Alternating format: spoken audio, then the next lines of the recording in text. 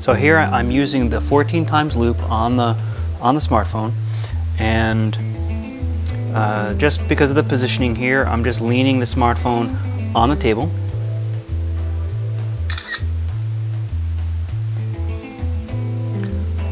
What you'll notice in that most recent photo is that part of the initial A is in focus and part of it isn't. And that's really the properties of a macro lens.